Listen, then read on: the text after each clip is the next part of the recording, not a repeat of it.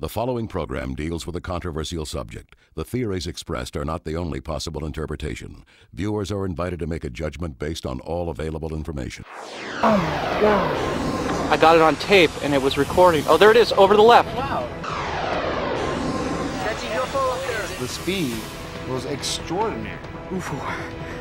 It looks like a flying saucer. I made it my job to get it on tape. Something was out there. Something overpowered the satellite. Franklin, uh, we see a long line, a couple of star-like things, and a lot of things swimming in the foreground. Can you describe what you're seeing? If it is a hoax, it was done very well. It just disappeared, vanished. It's gone. It's gone. I don't know. Probably moved at 100 miles in a matter of a second or two. The velocity is impossible. What I saw in that footage blew my mind. Every attempt to get to the bottom of this has been stonewalled. There's more to this world than you see. I think there's every reason to fear these things. During the last few years, an increasing number of UFO cases have been reported by people all over the world. And video cameras are now capturing hundreds of these baffling, unidentified flying objects, which puzzle both those who believe and those who don't. On this program, we will present the most compelling videotaped evidence of extraordinary and unknown craft ever shown anywhere. And hear from a top government physicist, a video analyst, and the eyewitnesses themselves. Could these be actual Oh alien God. spacecraft? Sophisticated military vehicles hidden from the public? Or incredible hoaxes? You decide for yourself as we examine the best UFO cases ever caught on tape.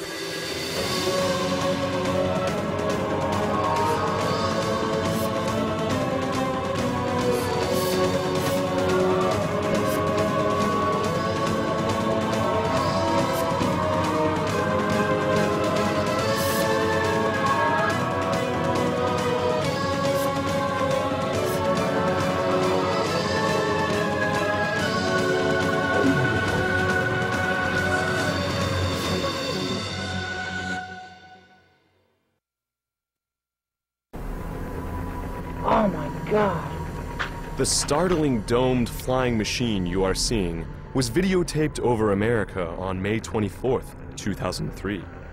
It appears to be a mysterious device displaying some unknown propulsion system. Where'd it go? The crystal clear footage was shot by videographer Jeff Willis while standing outside his home in Phoenix, Arizona. Right when I hit record, at that second, the object was passing straight over the top of my house. And what I got on tape was a disc shaped object turned on its side with the dome this way, the, the bottom part this way as it flies over my house. It suddenly does a U turn and then jumped about a mile and a half in like a matter of a half a second to where I couldn't even see it anymore.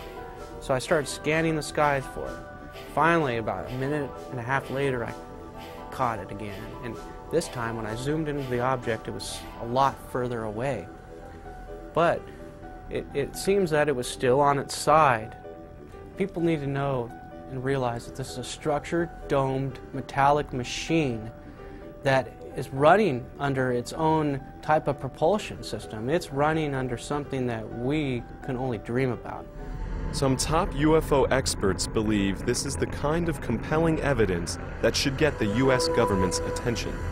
If I had to single out some single footage that I would bring in for, for congressional hearings, it would probably be Jeff Willis's uh, tape of the flying dome craft. It has been uh, analyzed enough by very high-tech equipment to say there's something there. It is metallic and it's and it's definitely anti-gravity type craft. Is it ours? I don't know. Willis, a dedicated videographer, has taped several inexplicable UFOs over Phoenix, a city that many experts claim has the most UFO activity of any American city. But it's Willis's focused efforts to document strange disc-shaped craft and eerie nighttime formations that has produced some of the strongest UFO evidence on record. December 11th, 2004. In the clear blue skies above Phoenix, Willis manages to tape this disc hovering for several minutes before a strange second object streaks past it from above. Whoa. Watch closely as the second object seems to do a free fall dangerously close to the larger stationary disk. Then on May 24, 2005, the two year anniversary of his astounding domed saucer sighting, Willis captured this enigmatic craft navigating over his house. It too appears to be a metallic device displaying unknown flight characteristics. Moving silently to the right, the UFO now appears to be two objects, or has split into separate parts, somehow linked together. Just a few months later, Willis videotaped this daylight disk, which incredibly turns into an orange glowing orb before vanishing behind a building. But the nighttime UFO encounters Willis managed to record during this same period are perhaps even more difficult to explain and were witnessed by a fellow Skywatcher. On May 12th, 2005, we set up the camera equipment. So then all of a sudden I thought to myself, turn your camera on and hit the record button. For some reason, I did it. I zoomed out a little bit. Right when I zoomed out, four lights appeared in a triangular formation in the distance. Whoa, I'm getting a series of lights right there. I got it, I got it. I got Two lights on the right of the object disappear and reappear in front of the remaining two. Got it, Pat? Yeah, yeah. Damn it, damn it, damn it. Yeah, yeah, right in that cloud that went away. Yeah. And then the, those lights go out. About a half a second later, it reappears. There it is, over to the left. Wow, jumped way. Watch it, Pat. And that's in broad, that's right in the light. Although the military base nearby denied it, the video shows it's possible that they were aware of this extraordinary UFO sighting, and perhaps others like it. Sure enough, not two minutes after that UFO disappears, you see an F-15 circle the area. Well, here comes the F-15 to check it out. We were getting reports of this same phenomenon. Uh, that's the whole reason why we were up on that mountain. There was an object appearing, lights that would jump in front of each other. The very next week, Willis and another skywatcher went to the home of a local resident who had reportedly seen different, yet equally baffling orbs repeatedly flying over his house and nearby mountain range. These dramatic events that unfolded in front of Willis's and the other witnesses' cameras have never been shown publicly. These objects appear first three orbs for about three minutes, and then the two orbs on the right disappear mysteriously, and there's one object left. About a minute later, three more objects magically appear on the left of the original orb that's left. Three of them appear at the same time, above it, in a triangular formation, with the one light off to the side. At this point, we're all going crazy. We can't believe what we're videotaping. What we're seeing is amazing. Oh, oh dude, did you see that? Yeah. Yep, it's coming. Holy Oh. Oh, this is nuts. He came back. Dude, it did Wow. come back. More appeared, bro. And the original light that started disappears, and now we have a triangle formation of lights. The lead triangle light disappears. There's two lights left. All of a sudden, two more lights appear above it in the same distance as the original two are. So now we have four lights again, and the two on the left disappear, and now we have two lights. And then those two lights slowly disappear. And this whole sequence lasted about six minutes. It's some of the most amazing footage that I ever got on video, nighttime footage, and we got it on three different cameras. This controversial UFO video shot six years ago has rarely been seen by the public. It too is one of the most spectacular UFO videos ever recorded. Experts who have analyzed it are intrigued. As incredible as it sounds, it looks like a Hollywood type spaceship caught on tape. It's a UFO up oh, there. It is, it is. I got it on film here. I'm zoomed into it. It was shot by a young man who was attending an outdoor arts festival in the Nevada desert. In his only national TV interview about the close encounter, the cameraman, who goes by the name Eric, recounts his UFO sighting and how it felt to videotape it. I reached for my camera and I zoomed in and uh, got a close up of it that the, that the naked eye could not make out. Because to the naked eye, it looked like just a speck of red light way up there in the sky. When you zoom in, you see this incredible array of, of lights that are going around a rim. uh, I think the footage speaks for itself. We just sat there just so in awe of what it was, not knowing anything. It looks like a flying saucer, you know, but you know, you try, you try, and, and your mind's going, no, this can't be. Eric claims that shortly after beginning to videotape the UFO, his batteries ran out. When he returned with the camera fully charged, the mysterious object had vanished. It must have left pretty quickly because it caught it sitting there motionless. As you'll see, it does not move, and the camera's lock is sitting steadily on the ground. So that's what makes it so interesting to me. But could this merely be someone's intricately designed device made to wow the Nevada Festival participants? If it was created, no one has publicly come forward to take credit for it. I don't see any indications that this was added after the event. Whatever this light phenomena is, it seems to be at that location. The most significant detraction to this being a UFO is the fact that it appeared during a festival that celebrates light sculpture. So my guess would be this is some kind of floating device with lots of Christmas lights that's being suspended in the air somehow. Possibly a balloon. But it seems to genuinely be there in the sky. This uh, video clearly shows an object out there, saw some sort of a some sort of, of a device, man-made or not man-made, but an artificial device with lights that appear to be going around, flashing on and off in a uh, very strange manner. Uh, one could uh, argue that it's uh, a real UFO. Yet Eric himself seems to suggest both on the tape and in his interview. The object he videotaped could have a very earthly explanation. Being that we're uh, out there with a lot of creative individuals, that, that somebody somehow managed to suspend the most brilliant light sculpture up in the heavens. That's a, that's a pretty beautiful object, whatever it is. October 1994. This stirring video of what appears to be a gigantic UFO hovering next to the now tragically destroyed World Trade Center in Manhattan was shot by a group of Italian tourists aboard a cruise ship. Is it possible the video actually shows a huge flying saucer over New York City? If this image is real, it's amazing. What strikes me as being unconvincing about this videotape, shot in lower Manhattan, is the, uh, the camera operator, even though he's got a huge UFO appearing by the Twin Towers, actually moves the camera away and down. And on the audio portion of the tape, no one is reacting to what should be a terrifying phenomenon. And here you have a video of a huge, what would be a huge object if it's a real object out there at the distance of the Twin Trade Centers. So you would expect that the people who got that video would have done something with it. They would have told the UFO groups. Instead, this, this video just sort of remained underground, um, has been rediscovered right here on this show.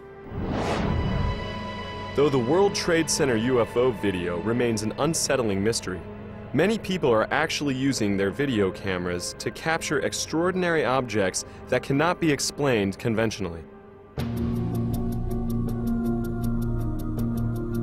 Some people are proudly calling themselves UFO video hunters. Chris Miller is one of them. I guess it started with my grandfather. Um, he died in 1980 and left me all of his material and um, on Eric von Daniken. And um, Eric von Daniken's whole idea was that we were visited once before. And um, it was my idea that I want to try to get, go out and try to get proof for this. It started basically in five years ago in Michigan while we were living in Michigan and I caught one object on video and I brought it to the airport and no one knew what it was there and that's how the ball started rolling. On May 2nd, 1998, I, we were outside, my son and I were outside um, playing in the dirt and um, I look up and I saw, it was kind of cloudy that day, and um, I saw something sitting up in the clouds.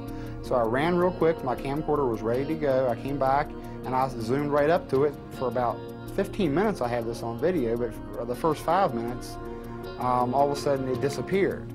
Um, it went from one part of the sky um, at least 30 miles, 20, 30 miles in a split second. I zip the camera over and I catch it again. And um, it was just absolutely fantastic because the object is huge. It's over, definitely over 100 feet in diameter. I set the zoom on infinity basically and zoomed into the maximum and um, it looks I mean, it's hard to say what it looks like, but it looks like a flying saucer. Miller was able to capture this amazing daylight UFO cluster and two orbs on video as well. When I was taping the cluster, uh, my heart was racing. Uh, you can even hear me breathing hard. After I realized what I captured on tape, it felt great. For the past three years, I've been told so many things, I'm not really sure what to believe anymore. Naval Intelligence um, studied my footage for four months, and their only comment was they have no idea what the objects are. I have no idea what I'm catching on video. If these objects are ours, military, um, secret projects, um, we're at least a thousand years beyond our present technology that they let us know about. I personally think it's a desensitization process that our public is going through by seeing these things. Try to have your camcorder handy and ready at all times so when you do see something, you'll catch something amazing on video, and then we all can come together and go to Congress with this, and then they, the public hearings could start, and um, the Americans could learn the truth once and for all. And Miller is not alone in his desire to capture UFO evidence for public scrutiny. Tom Sabourin, another UFO hunter, began videotaping UFOs after seeing extraordinary footage taken over Gulf Breeze, Florida in the early 1990s. It's breathtaking. When I first seen the videos of in Gulf Breeze, it, it made me go out and get a camera. I, I started going out every night and uh, every day. I made it my job to get it on tape. It looked like a big cigarette and it was flying across the sky. It looked like four balls that was connected the third ball to the end was red. The last ball white, white, white, red. I think it either could be extraterrestrial or some type of new animal. I'm just a hunter. We don't want to hear about it. We want to see it. The Gulf Breeze UFO sightings that so inspired Sabourin and others to point their cameras skyward have never been explained and remain some of the best UFO incidents ever recorded. Gulf Breeze, Florida, 1987. A man living in this seaside town located near sensitive military installations delivered these startling photos to the town newspaper. Soon after, this extraordinary videotape of the same structured craft was made public. Navy optical physicist Dr. Bruce Maccabee went to Gulf Breeze to investigate. But it wasn't until I spent considerable amount of time analyzing it that I realized just how impressive it was. The shape, the structure, and the way it moved is not a characteristic of any craft that human beings make. Gulf Breeze, 1993. These UFOs were caught on tape by another local resident. Look at this footage of an accelerating UFO. In slow motion, the object did not appear to be a missile or any known projectile, nor does this strange object. Here it is again in a third clip. In slow motion, the camera records a small silver streak of instant acceleration. We don't have this type of capability for propulsion technology in existence in, in human science. Redfish Point, Florida, 1993. This extraordinary cylinder-shaped UFO was recorded just outside Gulf Breeze by UFO investigator Michael Hawkins. It hovers over the beach not too far from Eglin Air Force Base. It was scaring me, actually. You know, I'd never seen nothing like that before with any kind of structure on it. I thought maybe it might be a military craft, but after a while, I, I started to think that, you know, possibly it was some kind of alien probe. Midway City, Florida, 1993. Amazingly, Hawkins managed to shoot footage of another strange object near Gulf Breeze that was also videotaped by two other photographers. These astonishing videos, taken from different angles, reveal an amazing Christmas tree-shaped craft hovering over a dense forest. At times, the object appears to give off dense smoke. Then suddenly, it shines an intense beam directly at the camera. From all the tapes I've collected, I do believe that there is alien activity over Gulf Breeze. And that's exactly what Hawkins thinks he captured on tape in this never-before-seen video shot near Gulf Breeze two years later, but never released until now. This craft has stunning similarities to what was seen in local newspapers and on tape at the very start of the Gulf Breeze UFO wave. Oh man, there it is. I got it now. After spotting the illuminated craft near Redfish Point with a few other investigators, Hawkins drives his car as far as he can before being blocked by trees. I can't drive, man, and get, get to zoom in here at the same time. Get out, man. Get out. Braving mosquitoes and thorny vines to get closer, Hawkins does everything he can to keep the portal encircled UFO in frame. His running description is breathtaking. I got it now. Whoa. That's it, man. That's it. That's it. Man, did you see it blink off? Oh, killer, man. We got it, man. That thing's for real. Just finds it. Crap. There it is. Come on, focus. Focus, focus.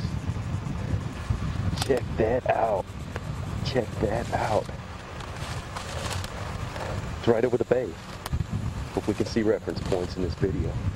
I'm telling you. We can see reference points. I see trees. They have reference points. This thing takes off. There's no kind of video. Check it out. Check that out. That is killer. This thing is real. It can't be no balloon. It's no balloon, man. It's no balloon. That is real. That's a real thing, dude. The real thing. Where the hell did it go? It's gone, man. It's gone. Hawkins was able to videotape the bizarre craft extremely close up and had it perfectly in frame just as it seems to vanish in the blink of an eye. But whatever all these perplexing UFOs videotaped for years over America represent, there's no doubt that mysterious craft are also being recorded around the globe, and even hundreds of miles above it. These video sequences might prove once and for all that NASA knows UFOs are navigating just above the Earth and dangerously close to our space shuttle missions. Franklin, uh, we see a long line. When I saw the tape, I realized that I was looking at very exciting, incredible footage that has never before been seen by the public. David Sereda, a former Defense Department subcontractor, has been studying NASA's possible interest in UFOs for over 15 years, and he believes this incident, which has since become legendary on the internet as the Tether incident, may prove UFOs are real. February 25, 1996, 100 miles above Africa, an experimental satellite system attached to a 12 mile long electricity conducting tether suddenly breaks. Within moments, the satellite drifts almost 100 miles away. Nitrogen gas gathers around the tether, effectively turning it into a gigantic fluorescent light in space. Incredibly, it seems to attract some strange company. You see a swarm of what may be UFOs flying around it, and then we see the camera zoom in on these objects, and we see giant disks passing behind this tether. But the astronauts involved with the mission seem to have a more mundane explanation. There's a little bit of debris that uh, kind of flies with us.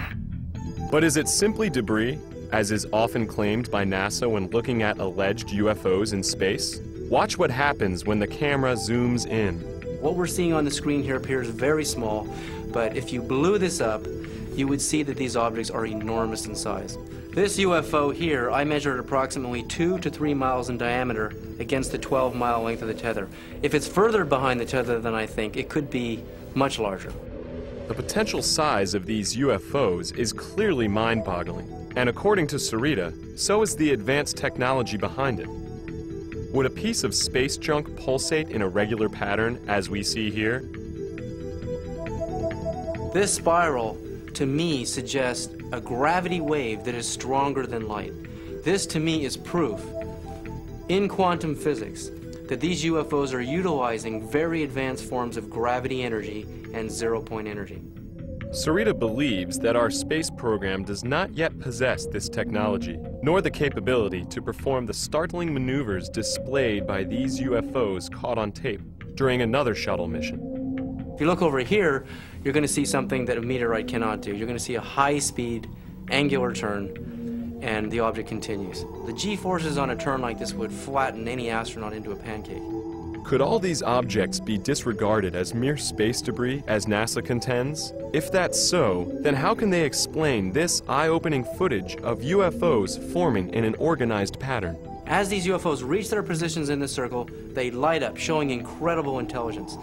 There we see a UFO light up right in the middle of the circle. This shows intelligence. Whatever the UFOs videotaped by NASA cameras are, there's no doubt that back down on Earth, they continue to be filmed over every major country around the globe. February 3rd, 1995. During the early morning hours, a woman tapes this mysterious craft hovering above Beijing, China. Notice how the glowing object floats, making no sharp turns or sudden maneuvers. While some dismiss the craft as a blimp, airline pilot and UFO researcher Jim Courant is not so sure.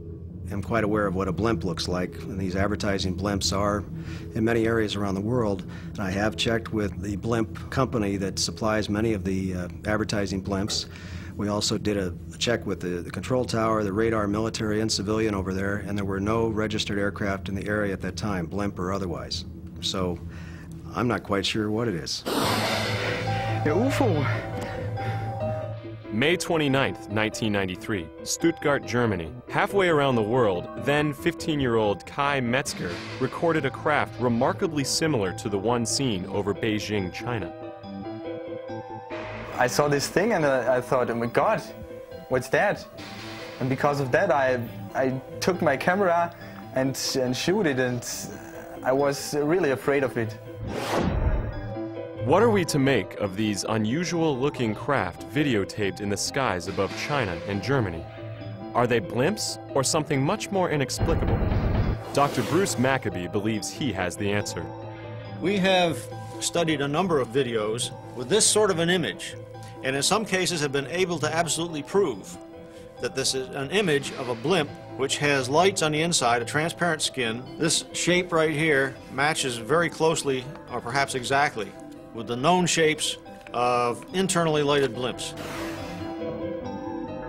Derby, England, March 13, 1995. This unidentified flying object was caught on tape for nearly an hour. The strangely shaped object was described as being completely silent. A few years later, in August 1998, a large metallic object was caught on tape again in England, this time in the village of Silbury Hill, an area famous for UFO sightings. The noiseless craft was said to hover in the sky for two to three minutes before disappearing, and then it returned, then blinked out. During a five-month-long wave of UFO sightings in Peru in February 1999, two photographers captured the same imposing object on the very same evening just outside Lima. The next night, this mysterious craft was caught on tape again for a full 40 minutes as it hovered above the nearby town of Pueblo Libre. Look at this red glow on the object's underside. Later, three distinct white lights appear on top. Jim Courant finds the images baffling. You have something that was so strange that uh, anybody seeing it uh, would have to say, I can't explain it. Ecuador, 1995. A high school student named Victor Chiluisa managed to capture what many experts consider one of the most extraordinary UFOs ever caught on tape. In this fascinating footage, a structured, rotating craft can clearly be seen in the nighttime sky. According to Chiluisa, the craft hovered very briefly. I was with two cousins, one friend. Suddenly we saw some red lights in the sky. Five minutes later maybe, I went out with the camera again. Uh, this object was like a star, like a six-point star. And uh, I began filming it. 500 people in the city of Guayaquil reportedly witnessed this stunning close encounter. The craft, which resembles a glowing chandelier, did not appear to be any craft that Chiluisa and the others with him were familiar with. couldn't be a helicopter, it couldn't be an airplane, it couldn't be, well, whatever. It just could be an, an UFO. It was, for me, unbelievable. I was so uh, astonished that I couldn't say anything. Quito, Ecuador, one year later. A round object was spotted in the night sky. Again, the craft exhibited an elaborate array of lights. No known man-made object or aircraft looks like this. December 3rd, 1994, Monterrey, Mexico. What you are seeing is perhaps the most compelling nighttime UFO video ever caught on tape in that region. A respected UFO researcher, Santiago Yturria, shot the tape. From the mountain emerged this huge, red glowing, very bright object. So I began filming. And uh, we realized that it was indeed a UFO, uh, a triangular shape, red glowing UFO, very silent, and it was very low altitude. Look here as Yturria zooms in with his camera, focusing on its mysterious red glow. We took two days reviewing the video, making analysis on the computer, and we discovered that uh, this UFO has this kind of energy all around.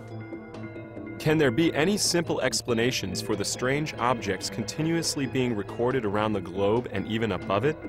Most UFO investigators remain perplexed. Interestingly, some don't see it as a threat, but as a blessing. We don't know what they are, where do they come from, what do they want, but we are convinced that this presence is positive to our lives. Undoubtedly, such reverence concerning UFOs in Mexico can be traced to perhaps the most spectacular UFO event ever caught on tape in that country, or arguably the entire world. It happened on July 11, 1991, when hundreds of people aimed their cameras skyward during a solar eclipse. This startling video was taken during the eclipse by Guillermo Arreguín, a network TV executive. It documents an eerie metallic craft with a saucer shape that was also videotaped by other videographers in Mexico City and other places throughout the country, almost simultaneously. This unprecedented mass UFO sighting during the eclipse ushered in a Mexico UFO wave that continued throughout the 1990s, as UFO watchers kept their cameras trained to the sky. Amazingly, many Mexican people are starting to believe that not only are unidentified flying objects navigating in the skies above them, but aliens are actually landing and meeting with their countrymen. December 8, 1999. As a Mexico City businessman gets dressed for work in the early morning, he spotted this unusual craft outside his window and managed to capture it on tape. Listen as he speaks to the possible inhabitants of the unknown craft. ¿Sabes qué? Llámale para a, a algún, alguna cosa de los medios de comunicación. He realized that it could be some of the so-called UFOs, and it was the classic shape of the oval UFO, most of the times present in the skies of Mexico. He was very excited, and he said, "How are you, boys? How are uh, you staying? What can you tell me about Alpha Centauri?" And suddenly the, the object disappeared. Maybe they didn't like the comments.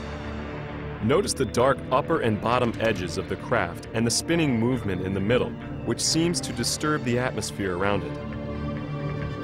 Whatever was floating in the Mexico City sky that morning remains a mystery. But there are some UFO cases in Mexico which, simply put, are either too good to be true or elaborate hoaxes. Incredibly, some of these even involve meetings with alleged alien beings. November 1991, Tepoztlan, Mexico. A man named Carlos Diaz managed to capture a UFO over his house. Look here as he zooms in on this strange orange object in the sky. Then, suddenly, he's somehow right on top of it, as we see sharp detail rarely seen in nighttime UFO videos. It was like a plasma, classic plasma shape with red color, red glowing color, and with these spinning movements that uh, uh, show that it was indeed a UFO and not another known object. While Carlos Diaz's first videos may be impressive to some experts, many still feel that Diaz, a professional photographer, should have stopped there. Since his first videotape sighting, Diaz has managed to record many other UFOs. But some of them are simply too far-fetched and simply look hoaxed. Look at this video taken in June of 1992. Notice how the UFO suddenly appears out of nowhere, almost as if it is turned on like a light bulb. Another video taken in May of 1993 shows the craft close up. Suddenly, some strange laser beam seemingly shoots out from the bottom.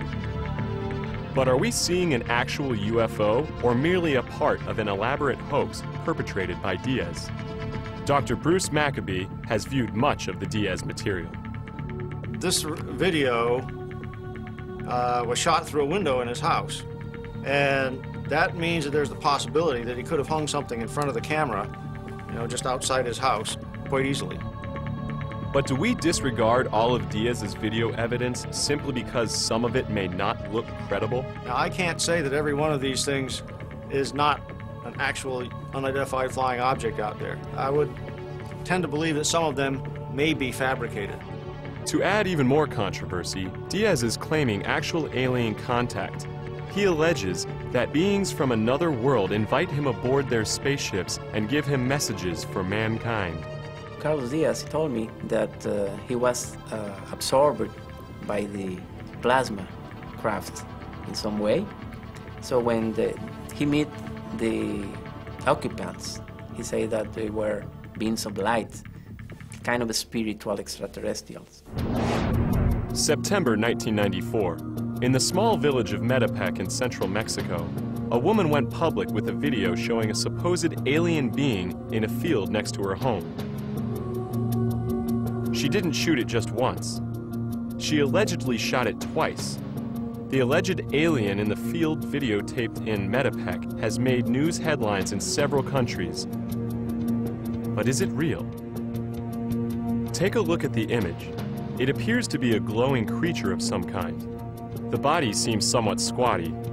The head possibly a typical alien seen in many magazines and newspapers, as well as books. What are we to make of it?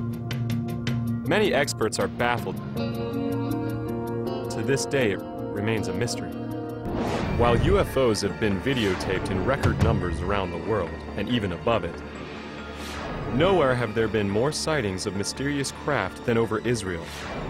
The inexplicably eerie UFOs caught on tape over the Holy Land are some of the most extraordinary images ever recorded. Some UFO experts even think it's possible that they are proof that extraterrestrials are keenly interested in Israel's security. September 1996. This peculiar and fascinating image was filmed by a resident of an area called Kefar Saba. When the craft first appeared, it resembled an apple with a strange top and bottom. This incredible UFO was seen again in a different configuration the next evening. After it appeared a third night, the videographer marveled at its intricate design. Look here at the many forms it seems to take. One night there are three lights on top. The second night only one. The third night the light takes on the shape of a crown and the entire object shrinks in size and turns a deep shade of orange. UFO researcher Michael Lindemann has never come across anything quite like this. Seeing the video of this thing, I must say it's uh, it's very impressive, and uh, I can't imagine what it is. It doesn't look like any prosaic object that I can think of. It doesn't bear any reasonable resemblance to a conventional aircraft of any kind. We showed the intriguing video to Dr. Bruce Maccabee. He offers a possible explanation for what we are seeing.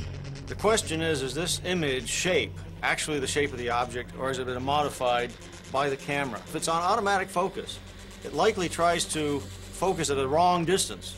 When that happens, you get an image in which the shape of the image is related to the aperture of the camera rather than the actual shape of the object.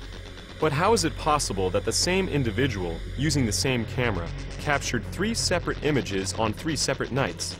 If so, what are we really looking at? Maccabee reminds us it could be an optical illusion.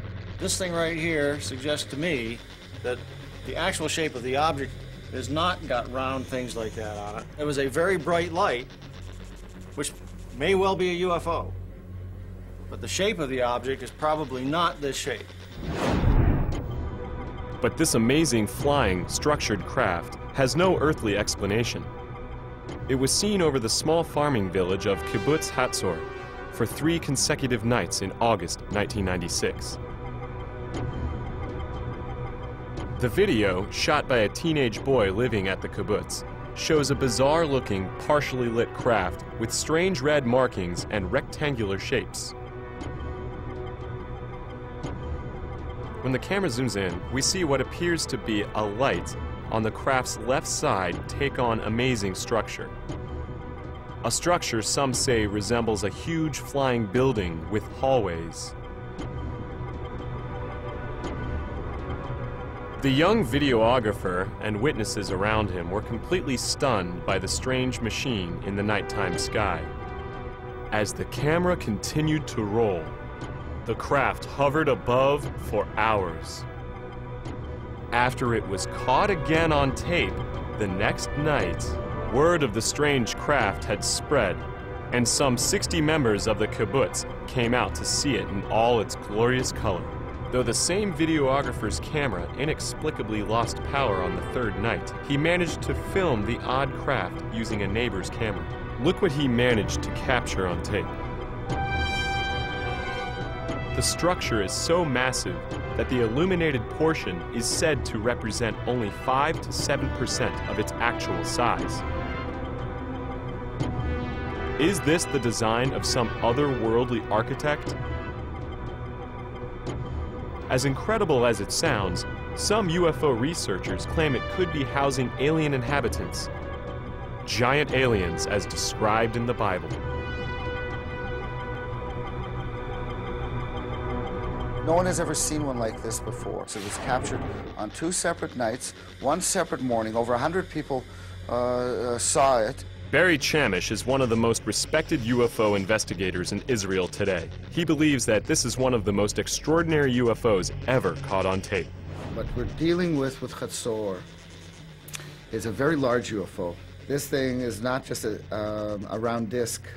This thing's got windows, it's got two rows of windows or vents or who knows what on earth they're shaped because they are very odd, offbeat squares. And they managed to get a close-up of these vents.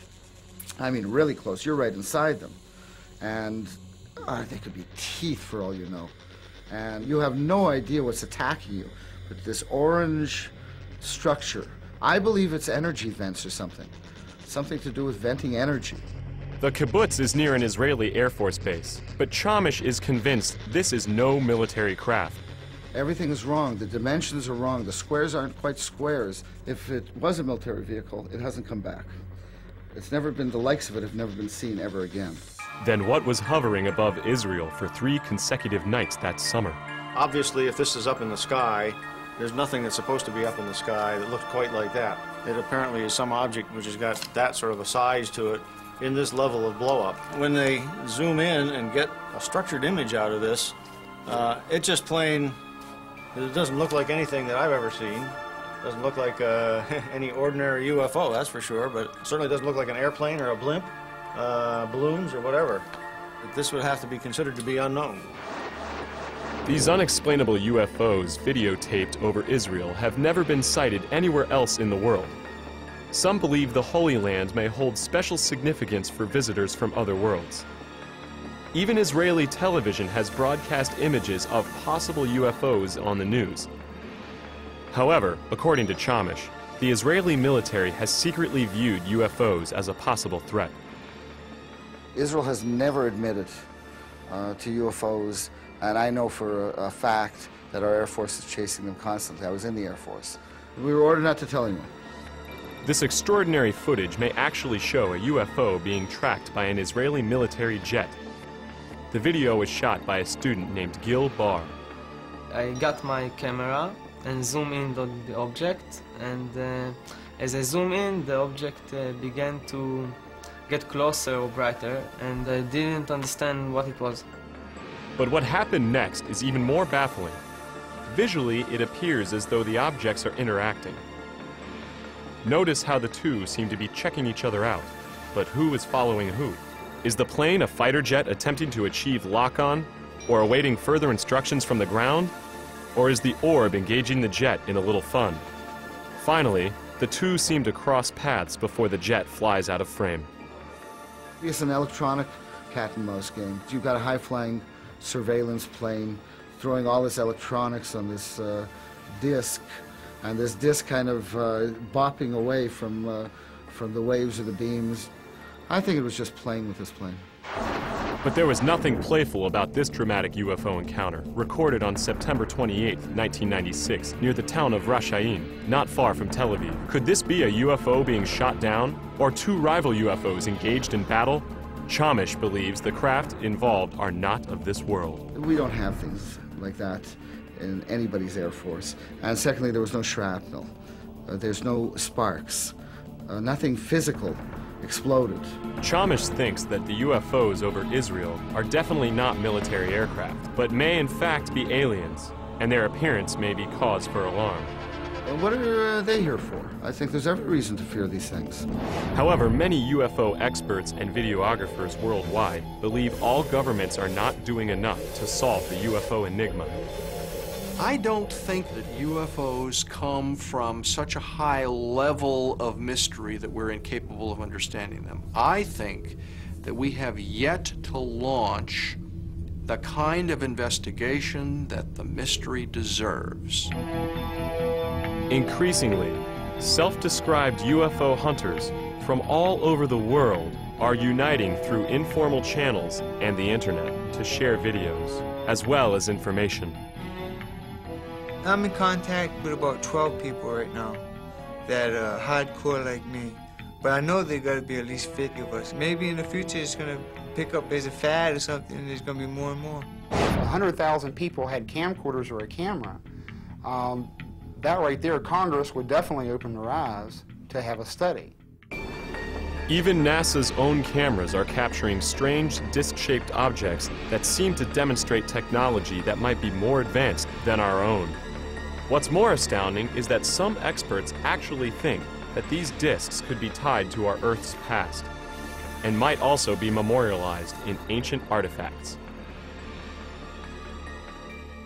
In 1938, high in the mountains of China, archaeologists discovered these round stones with a black dot in the middle and little notches out of the side. Now, if you notice in the UFO here, we have a black hole in the middle and a little notch in the side. The discs that were discovered in China also had a carved, spiraling wave that radiated from the center of the dot all the way to the outside of the periphery. It was a perfect match. I believe that these Dropa stones were made as artifacts to record what the ancient peoples of China saw in the skies. The same thing that we're seeing on this tape. More evidence that UFOs could have wide-ranging implications to mankind can be found in the wave of sightings caught on tape in the Holy Land. Some Israeli UFO researchers even believe these strange craft could be tied to the scripture. It seems like every race of UFO and alien are rushing to Israel in the last 12 years. The Bible does describe what we call UFOs today. So what are we to make of the extraordinary UFO videos recorded in Israel, around the world, and even in outer space? Could we be getting closer to answering the questions these videos increasingly raise? Some people think it's only a matter of time, and that the ever-proliferating video camera might be the tool that finally makes the ultimate difference. Yes, I think that uh, cameras might be a tool to prove uh, those things. And because without cameras, um, you cannot shoot these things. And so uh, no one can see uh, your video. If you don't have it on tape, and then it's just another story out of 10 billion stories, we want to see it on tape. We don't want to hear about it. We want to see it. Our prospects are good that someday, most of us may live to see the day when we understand what this really is.